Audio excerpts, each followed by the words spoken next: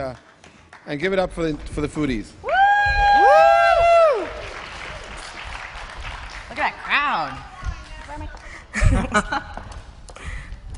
All right. Look at you guys. Hey. You all Right. hear me? All Right right. up here. First of all, thank you for staying until the end of the day. If you want to get up, stretch, move around. No? You guys awake out there? we, uh, since we were last, thanks, Jeff. Um, we decided what better to do than drink while we're up here. So we've got some bourbon. Uh, we're gonna have a good time. So I hope that you guys have a good time with us. I have my water because I turn red when I drink. Like they're gonna be sleeping, they're gonna be yawning. Right. This So- is definitely a good idea. Yeah, so we're going to have some drinks. I hope that you guys enjoy our little chat here. Um, our panel was supposed to be about building niche food communities, um, building up a community one person at a time who are passionate about the same things that we are when it comes to food. But when we found out that we got moved to the very end of the day, we said, let's not talk about anything serious. Let's just talk about life, take some questions from the audience. So I'm really hoping that this pays off and that at least one of you or two of you are listening to us. I know that those two guys right there are listening to us. So, um, so I'll introduce myself quickly and then I'll uh, let my panelists introduce themselves. I'm Emily Cavalier. On Twitter, I am eCava, E C A V A. Um, I would love it if you'd follow me so I can keep up with you guys and meet you either online or offline. My food website is mouthoftheborder.com. Uh, my supper club is midnightbrunch.com. And I uh, just quit my job yesterday to uh, start my life full time in food and beverage. It's also it's why we're drinking. So I'll hand things off to Erik to introduce himself. Cheers to that. Thank you. I'm Erik Trinidad. I run Fancy Fast Food uh, at Fancy Fast Food. Um, I bas- if you don't know about it, I basically make uh, gourmet food porn out of uh, chain fast food without adding any- extra ingredients, except for a garnish, because fancy food looks good with garnish, and they don't really have garnishes. You think he's McDonald's. kidding, but he made pasta puttanesca out of a Papa John's pizza a couple Yeah, days ago. that was. I literally did that two days ago, and it went online yesterday, and it's on Fancy Fast Food. Um, follow me at Fancy Fast Food. I'm Lea. I'm a community manager at Bizzy, which is an app that makes it super simple to share your experiences, especially out and about at local restaurants. Um, but I'm really here as Mac Cheesy. Uh, two years ago in 2009, I started tweeting about my passions in mac and cheese and have been connecting with people in New York and all throughout the country about the best places and the coolest mac and cheese dishes uh, that's out there. So at Mac Cheesy. And there's a lot of good mac and cheese in A New lot York. of great, and I've been food spotting them. Excellent. oh, that leads to where where I work. Um, I am Amy Cao. I am the head of community at foodspotting.com. Yay! Um, She's really why we you guys are a are here, website and a, a mobile app that's free on your iPhone and your Android and soon to your BlackBerry. And also, before I joined Food Spotting, I, I started my own food blog called Amy Blogs Chow. And I started making stupidly simple snack videos, which is why Emily invited me because it's a quite uh, specific thing that I was that I am doing these snack videos because I I'm so entrenched in the food field that it was just funny that I can't cook for my life. So I would go make microwavable potatoes and um, a lot of things in my microwave and film it. And it the it, the response has been pretty good so far. So Yeah. excited about that. Cool. Thanks, guys. Um, so we're just going to talk a little bit informally, uh, maybe about food, maybe not, maybe about life instead. Um, as we're as we're talking, we'd love to take a few questions from the audience. You'll just have to speak up or come up here so I can repeat your question for you. Um, It should come up, I think. I think that the first person that actually comes up with a question, I'll give them some bourbon. But let's, let's, get, in, let's, let's get into it first. Let's get into it. This is Hudson Baby Bourbon. They're It's one good. of my sponsors it's for good my supper club. It's- It's, a New York bourbon. We don't skimp at this conference. Um, so I just wanted to start off. Um, obviously, leaving my job yesterday after four and a half years was a huge decision. Um, 140 Conf is in part to thank for that. A couple of years ago, at the very first one, um, I decided to start my site, and I started at the end of June in 2009. And then at the LA conference that year, I was having dinner with my good friends C.C. Chapman and Sarah Prevette, and I was talking about food, and C.C.'s like, I don't have any idea why you're not doing that full time. And the next month, I gave my notice. Um, obviously, a very long notice, but here I am, first day of freedom.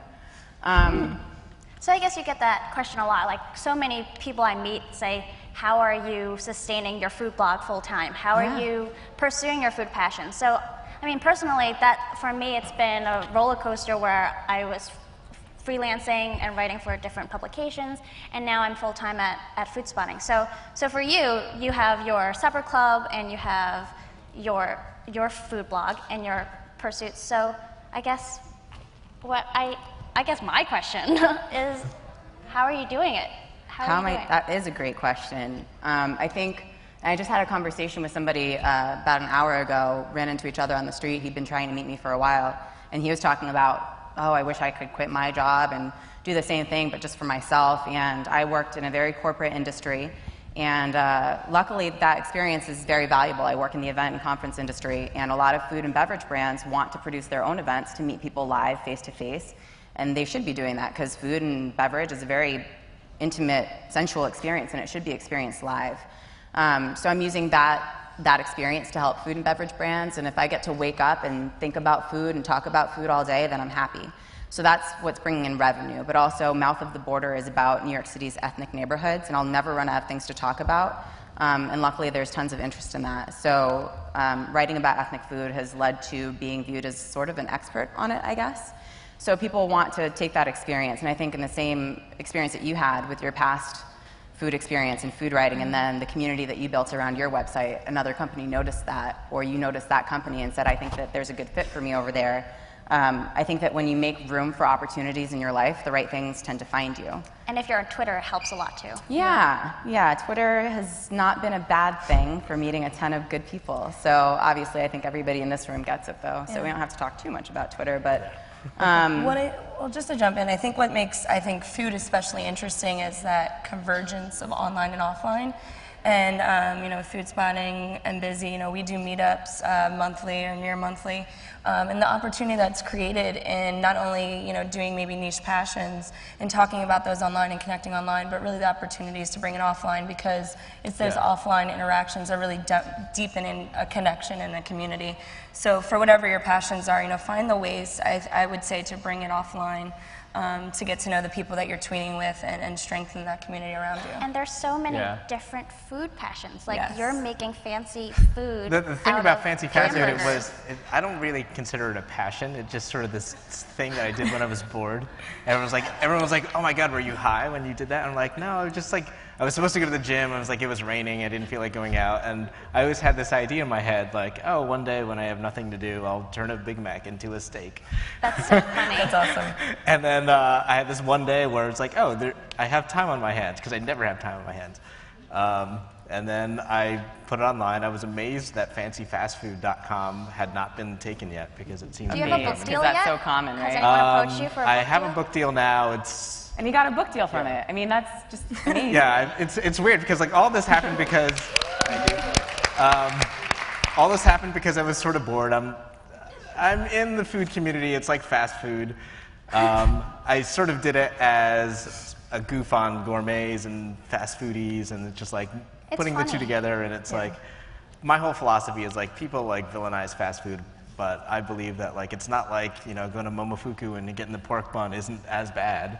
Right. Uh, so it's like there are all these things that are bad for you, and I've realized that you know the food police are like, oh, uh, Splenda's bad for you, You're but then promoting obesity. yeah, yeah, yeah.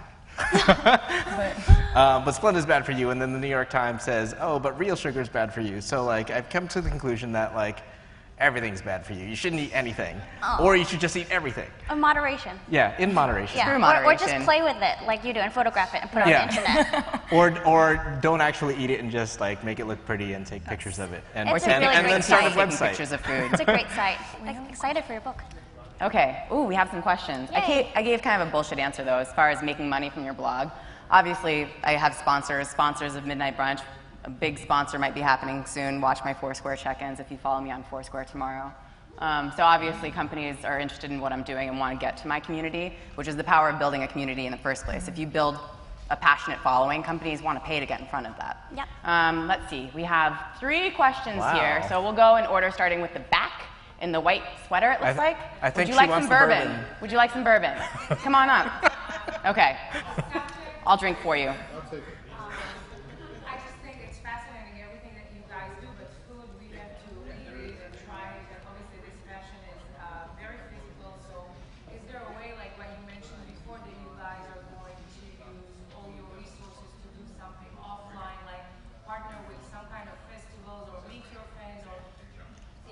young chefs or kids, I don't know, all kinds of uh, user-generated activities that are actually going to drive the, the flavors of the food. I think when you build a buzz on Twitter or Facebook, um, you like people come to you because you're already putting it out there and you become visible. Um, and then, I mean, I really didn't intend the site to go to, to go as big as it did, and it was just because it was on Twitter, it was on Facebook. Um, it just sort of went viral from there, and like everyone asked me, "Oh, do you have do you have uh, agent or something?" I'm like, "No, people. I'm just getting cold calls from television shows and stuff." Um, But yeah, there are more opportunities to partner, or, or if you have really good cooking skills, there's plenty of food events um, that you can partner up with. And a lot of um, these bloggers, especially in New York, they participate in, or, or they'll do supper clubs, like Emily. Like I decided to start a supper club to bring people together offline, and it's been amazing. And you can, you can profit from that. Uh, maybe not in the beginning, but there are different opportunities. Or just go wild if Kraft is listening. I always thought I would love to do a, a mac and cheese is eating up. They didn't like contest. so had to say. fun things like that too. We to had so people many more questions. Well, since our time is up, just find us afterwards. We're happy to talk to everybody, and we're happy to close things out here. I hope that you guys have had a great experience. I have a little bit of bourbon left, so just find us afterwards in the lounge. And cheers to 140 guys. Comedy. Yeah. Thank you.